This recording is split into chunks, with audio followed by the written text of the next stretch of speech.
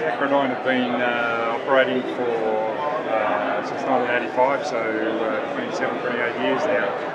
Product ranges that we've got uh, primarily were uh, valve actuation, and uh, from the valve actuation perspective, we cover pretty much every type of product that's out there: electric actuators, pneumatic actuators, hydraulics, manual gearboxes.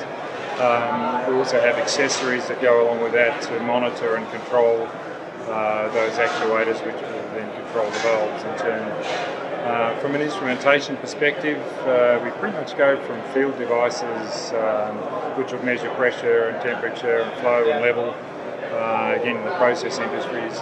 Um, and we have the control devices that will take uh, the information all the way through to the control room and then you know, via high-speed Ethernet connections.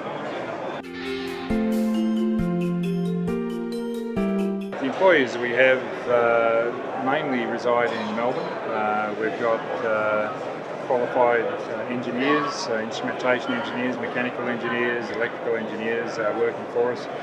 Um, and we also have um, instrument and electrical technicians in Western Australia, um, in Melbourne and in New South Wales, plus a sales base in all of those areas. Uh, we do travel far and wide uh, to uh, deploy our services around the country um, you know, in response to the customer needs. Um, and we can do everything from uh, commissioning, verification of uh, flow or level or any, any other instrument devices to um, service and repair on, on site or in our workshops.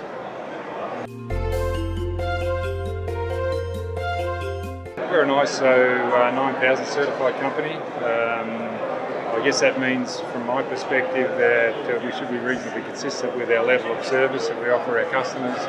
Um, and if we're not, we can go back and check exactly where we, uh, we fell down. Uh, it shouldn't happen all that often, and uh, it's because the system works. Um, coupled with that, we're also uh, approved to AS 3800 which uh, is a standard that allows us to uh, repair and refurbish hazardous area equipment.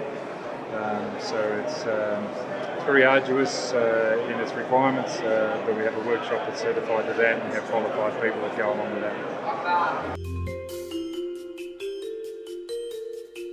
Limitorque actuator is an actuator that we represent. We have represented in Australia since 2005. It's a full ranged actuator from the MX multi-turn actuators through the uh, QX quarter turn to the QXM multi-turn range. It covers a full facet of uh, operations from small butterfly valves, bore valves, all the way to large gate valves, camber controls and the likes. Uh, we have quite a market in the oil and gas as well as general water and waste and other industries as well. Limitorque Actua is very unique and it has been unique for many years in the way that it's been able to uh, incorporate an absolute positioning coder. That's mean it's not reliant on troublesome batteries and so forth. Um, what's also fairly unique about the Limitorque actuator is that we do stock the actuator here in Melbourne. Uh, also within our Perth facility, uh, stocking will be a, a, feature of that facility. We also are introducing the last part of this year uh, our QRC, which is our Quick Response Centre. That'll enable us to make the MX actuator in our Bayswater facility in Melbourne, uh, as well as being an IEC certified device as well. So that's also adding Australian content to that device. This is the Limitorque MX05 actuator. This is the smallest of the multi-turn offering that Limitorque have.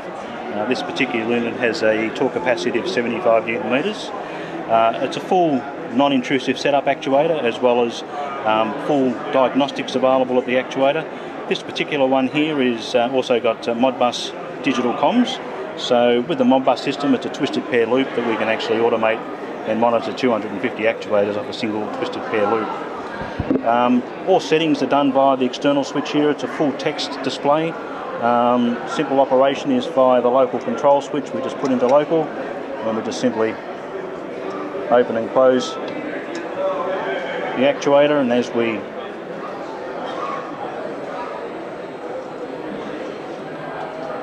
We simply just watch the display increase in value relative to its position. The actuator has a full manual override as well, so should you lose uh, electric power, we have a declutch device and a hand wheel uh, to ensure safe and reliable operation.